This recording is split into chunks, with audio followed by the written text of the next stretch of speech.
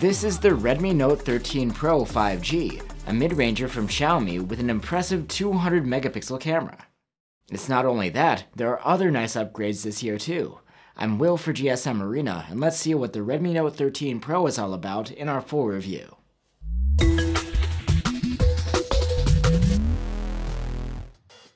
Another year, another suite of Redmi Note mid-rangers, and today we're talking about the Redmi Note 13 Pro 5G. It brings plenty of upgrades over last year's Redmi Note 12 Pro, including an improved display, a faster chipset, and that 200 megapixel main camera. Let's start off with the design though. It's pretty typical for Xiaomi. You get a square camera housing with subtle dividers, and large chrome rings around the cameras. The phone's back is made of flat glass, and the frame is made of plastic. Together, its sharp edge and matte finish make for a decent grip. The Redmi Note 13 Pro has IP54 rated ingress protection. Compared to last year's IP53, it's a bit of an improvement in water resistance. The display of the phone is a 6.67-inch OLED with a 1220p resolution, Gorilla Glass Victus protection, and a 120Hz refresh rate. This display is sharper than last year's 1080p panel. The higher resolution results in a pixel density of 446 ppi. Another upgrade is the support for 12-bit color depth and their support for HDR10 Plus video and Dolby Vision, just as before. Like many phones in the industry, the Note 13 Pro has come out with a significant increase in screen brightness this year. We measured a maximum of 530 nits when using the manual slider, and this was able to boost to 1330 nits in auto mode. And the refresh rate behavior here is pretty standard. You get a smooth 120Hz, which can dial down to 60 when you stop interacting with the screen to save energy. You can wake up and unlock the Redmi Note 13 Pro with a snappy under-display fingerprint reader. It's a new development. Previous models used a side-mounted one. For audio, the phone has a pair of stereo speakers. They scored a very good mark for loudness, and the sound quality is good too, with great vocals, nice highs, and some bass.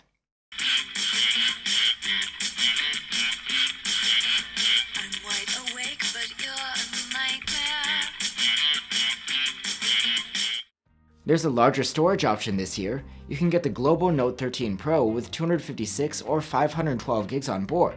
That isn't expandable through microSD. And the interface of the Redmi Note 13 Pro is nothing new. It's Xiaomi's MIUI 14 running on top of Android 13. It's the same interface that we saw last year, but the phone should get an update to Xiaomi's new HyperOS at some point later on.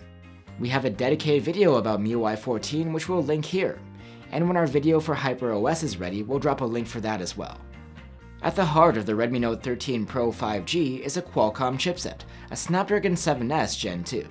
Don't get confused by the naming, it's actually less powerful than the Snapdragon 7 Plus Gen 2 or even the Snapdragon 7 Gen 1. Still, it's an upgrade over the MediaTek Dimensity 1080 that was inside last year's Redmi Note 12 Pro.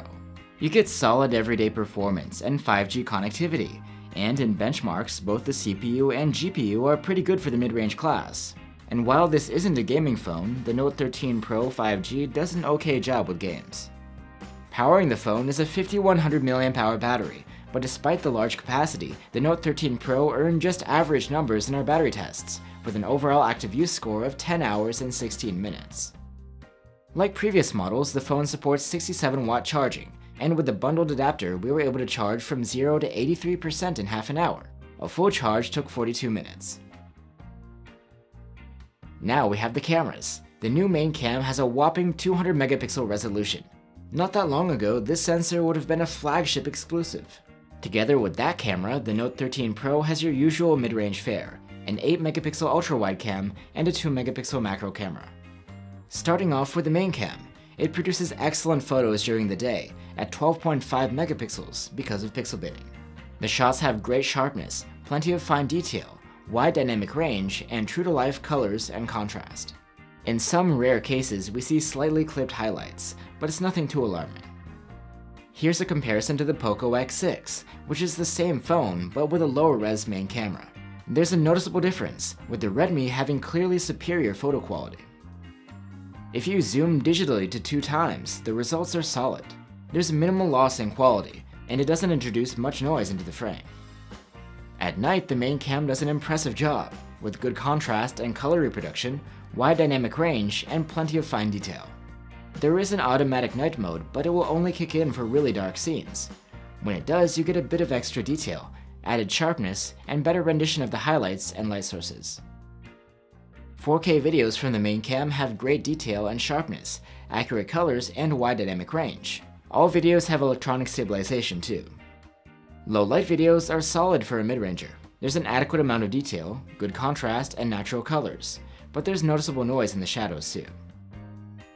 The photos from the 8MP ultra-wide camera are far from impressive.